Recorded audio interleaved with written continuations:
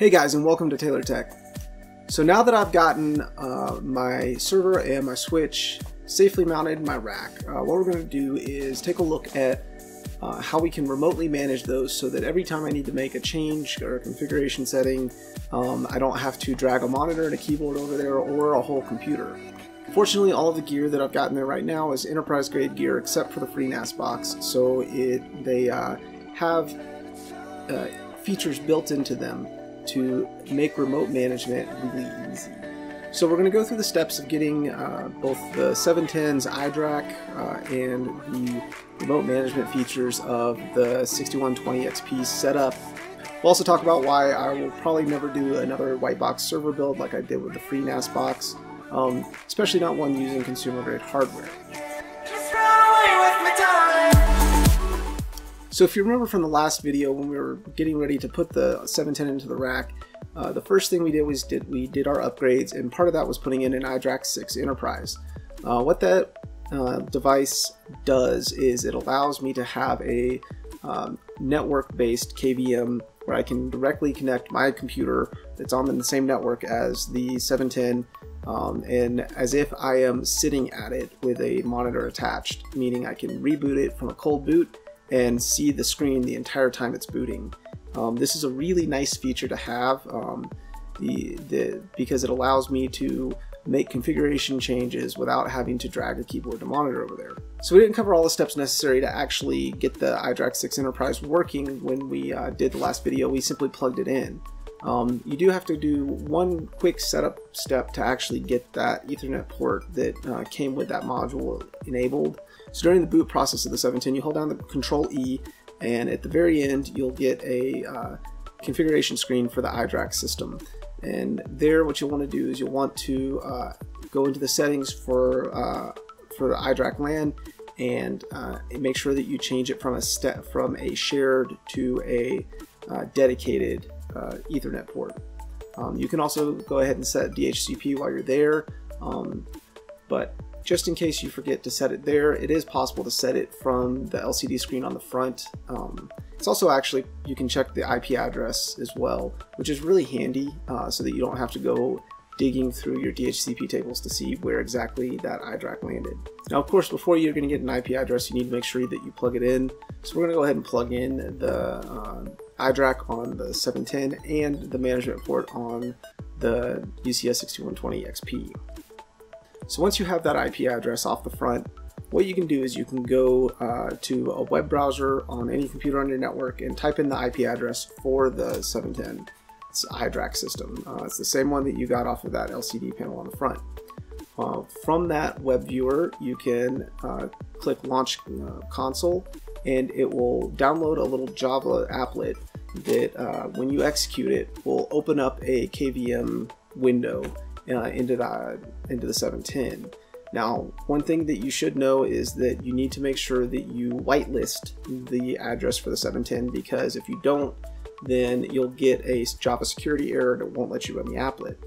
But uh, that's really easy to do. Just go into Java configuration settings, go to security, and you can edit the whitelist and add it. Just make sure that you put in uh, an HTTP and an HTTPS entry, um, or whichever one you intend to use, so that you uh, so that it will work. It won't work. An HTTP whitelist won't work with an HTTPS, vice versa.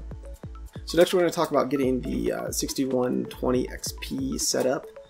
So you may recall from the 10 gigabit Ethernet at home video that I had a lot of trouble when I was trying to use the UCS Manager application. Um, I just could not get it to run, and it made it very difficult to try and manage that switch. Because let's be quite honest, the console on that thing is a, kind of a nightmare to, to navigate and to find settings in, especially as complicated as that device is. Fortunately, I was able to find a blogger who had actually figured out what the issue was and solved for it. Uh, essentially, I had a self-signed certificate on the device that Java did not recognize and it was throwing a security error when it tried to redirect from HTTP to HTTPS during the login process. Um, and so it was an unhandled exception that was happening in an older version of the switch's firmware.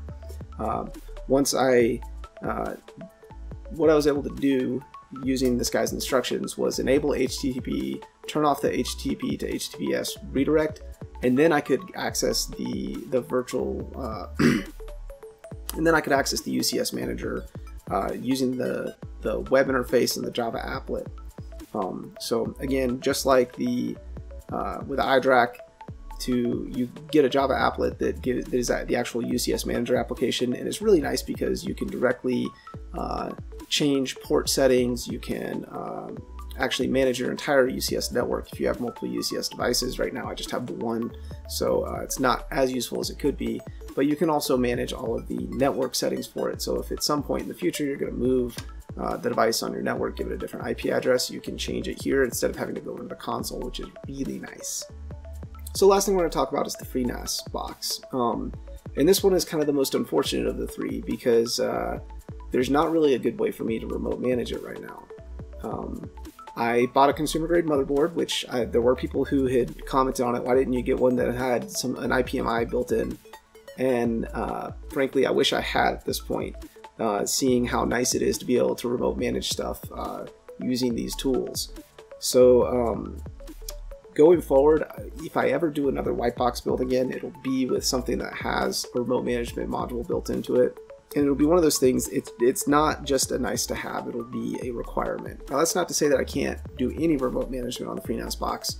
Um, FreeNAS gives you a lot of options, including a direct console uh, from the FreeNAS UI, but if anything ever happens to it where either the operating system gets broken or um, I need to change something on the UEFI uh, BIOS or anything like that, I'll have to actually drag a keyboard and a monitor over there. But going forward, um, that'll be something that I'll be making sure I don't do uh, in terms of using consumer parts that don't have remote management uh, tools built into them. So remote management tools, like we just talked about, are really awesome. Um, you can find them on almost any enterprise gear when you're looking to build buy stuff for your home lab. Um, of course, Dell has the iDRAC, which is uh, integrated Dell remote access control, I believe, uh, something very similar to that. HP also has their implementation of it called ILO, Integrated Lights Out.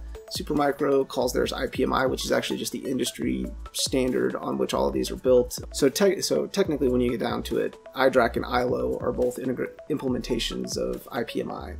Um, I believe IBM also has one called RAS.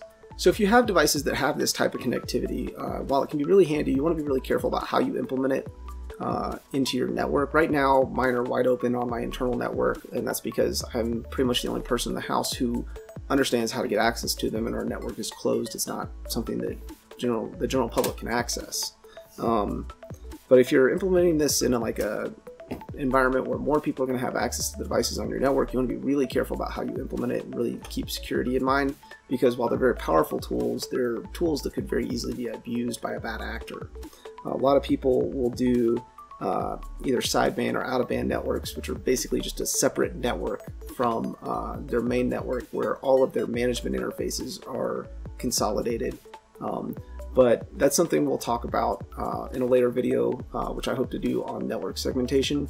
So um, just keep in mind as you're implementing these, make sure that you've got passwords on these things, make sure they're not the default passwords, uh, make sure that you uh, are, are securing them as best you can. You know, while non-default accounts, non-default passwords are great, it's even better if you can make it so that just not, not just anybody can even see the interfaces in the first place. Alright guys, thanks for watching. I hope you found this video helpful. If you did, throw a like on it and subscribe for more content like this in the future. If you have any comments or questions for me, you can leave them in the comments section down below.